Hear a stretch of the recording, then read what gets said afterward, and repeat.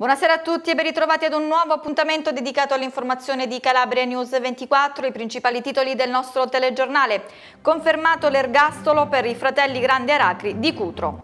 Brutto momento per l'ex presidente della Regina Foti, indagato per truffa e bancarotta. Sono in arrivo dalla Regione Calabria nuovi fondi per la formazione di giovani professionisti. Il Festival di Buon Umore è in arrivo nel Vibonese per una intera settimana ricca di eventi. Gaetano Navas è pronto a dare il meglio di sé alla regina. Erano finiti alla sbarra nell'ambito del processo denominato Chiterion. Dopo l'indagine condotta dalla DDA di Catanzaro, parliamo dei fratelli Grande Aracri dell'omonima Cosca di Cutro, è stata confermata in Cassazione nei loro confronti l'ergastolo. Un quadro accusatorio confermato nei termini e nella sostanza. Una sentenza d'appello che non lascia scampo agli uomini del clan dell'andrangheta di Cutro, finiti alla sbarra nel processo Chiterion. Una sentenza pesante, quella che la Corte d'Assise d'Appello di Catanzaro ha inflitto a una delle cosche più potenti e ramificate dell'andrangheta calabrese. All'ergastolo infatti sono stati condannati il boss Nicolino Grande Aracri e suo fratello Ernesto, 30 anni invece, inflitti ad Angelo Greco, detto Lino, Pene pesanti di fatto considerando che il GUP di Catanzaro il 4 novembre 2016 aveva condannato il capocosca Nicolino a 30 anni e a 24 anni ciascuno il fratello Ernesto e Greco. Assenti in questo importantissimo processo le istituzioni, in primis la regione Calabria. L'indagine Criterion della DDA di Catanzaro, infatti, ha messo in luce una vasta estensione del locale di Cutro. Associazione mafiosa, omicidio, estorsioni, usura, detenzione e porto illegale di armi, reati a vario titolo contestati agli imputati che riuniti sotto la guida del potente Grande Aracri si proponevano la gestione dei lavori sulla 106, sui parchi eolici o il controllo dei villaggi turistici, tra i quali il villaggio Capopiccolo di Isola Caporizzuto, estendendo dunque il proprio potere intimidatorio dal Crotonese fino a Vibo Valencia, con forte attecchimento nel territorio del capoluogo di regione. L'ex presidente della Regina dunque è indagato per bancarotta e truffa. Sentiamo i particolari nel prossimo servizio. Bancarotta e truffa. Sono queste le ipotesi di reato contestate dalla Procura della Repubblica di Reggio Calabria all'imprenditore Pasquale Foti, meglio noto come Lillo, ex presidente della Regina Calcio, in relazione al fallimento proprio della società Amaranto. Il sostituto procuratore Stefano Musolino ha notificato la chiusura delle indagini agli interessati, complessivamente una decina, oltre a Foti, dopo oltre due anni di attività investigativa. All'ex presidente la procura contesta di aver svolto un ruolo centrale nella vicenda e di avere distratto e occultato beni, patrimonio della società calcistica. Il PM inoltre ha contestato a Giuseppe Ranieri, che per un periodo aveva sostituito Foti alla guida della società, di avere cagionato un dolo e per effetto di azione dolosa il fallimento della Regina Calcio SPA, procedendo al sistematico finanziamento dell'attività di impresa attraverso il mancato pagamento dei debiti erariali. Le indagini sono state eseguite dalla Guardia di Finanza. E cambiamo argomento, passiamo alla politica. Arrivano nuovi fondi dalla Regione Calabria destinati ai tirocini formativi. Ulteriori risorse da destinare all'avvio dei tirocini formativi, nell'attesa che l'INPS completi le attività di accertamento di propria competenza e quanto deciso dalla giunta regionale, guidata da Mario Oliverio, con l'assessore al lavoro, welfare e formazione Angela Robbe, che consapevoli della necessità di dare ristoro a bisogni e a esigenze espresse dalle persone della nostra regione, hanno determinato un incremento di risorse disponibili per avviare il nuovo bando. Abbiamo deciso come regione di eh, mettere risorse, eh, mettere 20 milioni di risorse eh, per far partire i tirocini in tempi veloci perché c'è un'esigenza, c'è un'esigenza sociale fortissima, non possiamo non tenerne conto e quindi li facciamo partire a, eh, nei tempi in cui avevamo detto che sarebbero partiti, quindi entro l'estate. Nel frattempo, perché abbiamo deciso di mettere risorse nostre? Perché è giusto dare risposte al territorio, alle persone, però contestualmente vogliamo finalmente una volta per tutte portare avanti eh, un'operazione di messa in trasparenza di tutte queste risorse eh, che sono all'INPS per avere una situazione chiara e definita nell'interesse della regione ma nell'interesse delle persone sempre. Per cui mentre oggi avranno risposta perché abbiamo investito risorse, riusciremo finalmente a definire la situazione che dal 2009 non è chiara e faremo un'operazione trasparenza senza penalizzare nessuno. Arriva anche in Calabria l'Oktoberfest Paulaner, evento attesissimo da tutti gli amanti della buona birra. Non è una festa della birra, ma un vero e proprio Oktoberfest. E così dopo Monaco di Baviera, Parigi e Cuneo, a ottobre toccherà a Rende ospitare la Kermesse, che prende spunto da quella che si svolge in Germania. Dal 24 ottobre al 4 novembre quindi sarà tempo dell'Oktoberfest Paulaner, un evento o se preferite una serie di eventi in cui la birra rivestirà certamente un ruolo chiave ma che permetterà di declinare a 360 gradi il concetto di spettacolo. Il quarto evento europeo in termini di, di, di tempo e di, e di diffusione dell'Oktoberfest che è il più, celebre, il più celebre festival eh, del mondo con più di 7 milioni di, di presenze all'anno a Monaco di Baviera. La formula che adotteremo per quanto riguarda l'impostazione della festa è la medesima formula che viene adottata a Monaco, ovvero eh, la necessità e l'opportunità di creare una festa per tutti, una festa che possa coinvolgere le famiglie innanzitutto, anche con, con i bambini e proprio per questo verranno, verranno mh, eh, preparati e organizzati eventi mirati all'accoglienza dei bambini, una festa che potrà accogliere eh, le persone anziane e una festa ovviamente anche diretta ai giovani perché prevederà comunque ehm, tante serate di musica dal vivo, la presenza stabile per tutta la durata dell'evento di una band bavarese che suonerà le musiche tradizionali e ripeto questo evento sarà sicuramente trainante per l'intero territorio. Quello che a noi ci piace di più dire è quello di riuscire a portare quelli che sono ehm, gli eventi collaterali ehm, e tutte le sinergie che vengono create con Luna Park,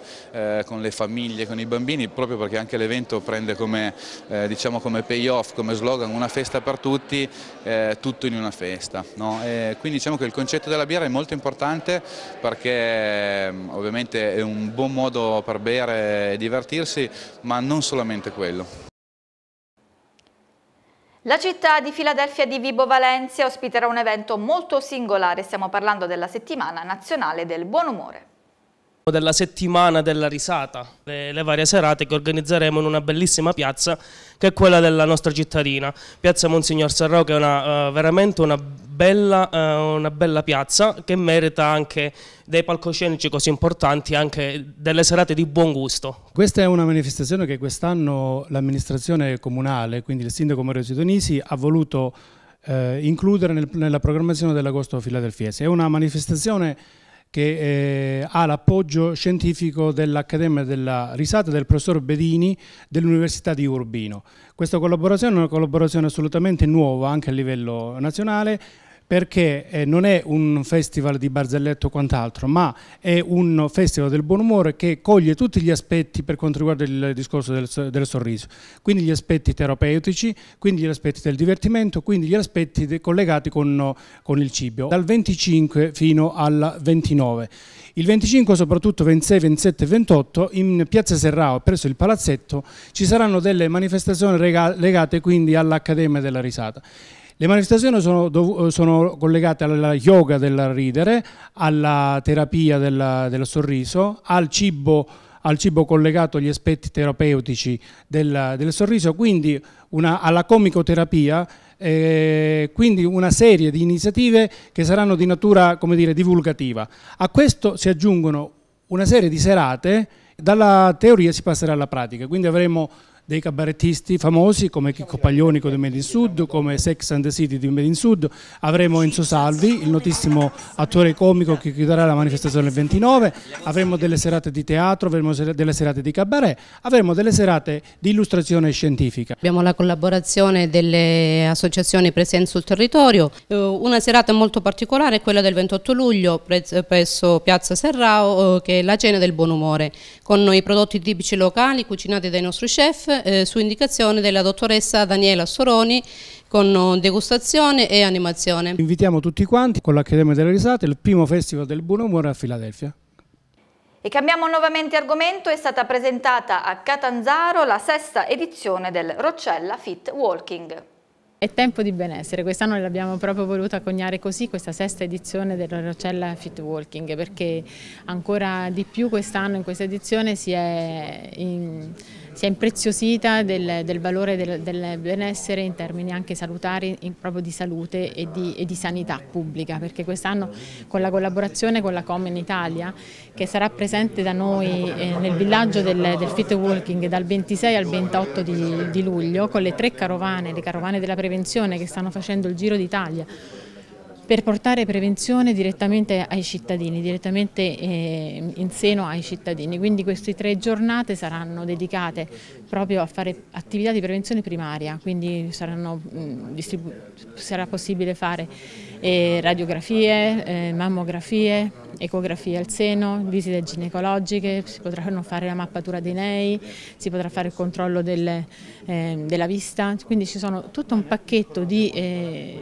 di, di, diciamo, di, attività sanitarie che saranno elargite all'interno del, del, villaggio della salute. Questo del villaggio della salute il villaggio del fit walking, quindi un, un villaggio che sarà sportivo, ludico sportivo, ma so, soprattutto volto al benessere e alla salute. Siamo alla sesta edizione di questa, eh, di questa manifestazione che ormai non coinvolge soltanto il singolo paese di Roccella Ionica, ma tutta la costa dei Gelsomini e anzi oserei dire, si può dire un po' quasi tutte le province calabresi perché arrivano da ogni parte della regione Calabria.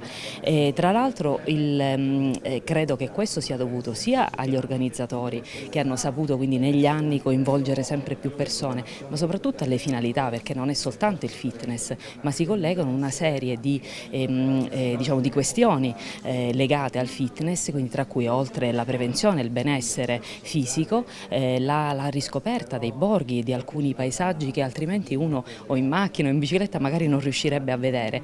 Quindi da un lato questo, dall'altro anche la prevenzione. E ora passiamo al calcio e ascoltiamo le parole di un nuovo acquisto della Regina. Si tratta di Gaetano Navas. Gaetano Navas, intanto benvenuto a Reggio Calabria. Come hai saputo del tuo approdo alla Regina? Eh, l'ho saputo subito appena ho smesso quasi il campionato che il direttore mi ha voluto fortemente e quindi non ho aspettato altro che accettare subito questa chiamata e venire qui a Reggio. Senti, 67 presenze, lo scorso anno per te è stato un campionato difficile con l'Agragas, che momento hai vissuto dal tuo punto di vista? Sì, è stato un momento difficile, eh, come tutti sappiamo, siamo, vengo da una retrocessione molto brutta che, che segna tanto la carriera di un calciatore. Senti che invece qui eh, alla Regina che gruppo hai trovato?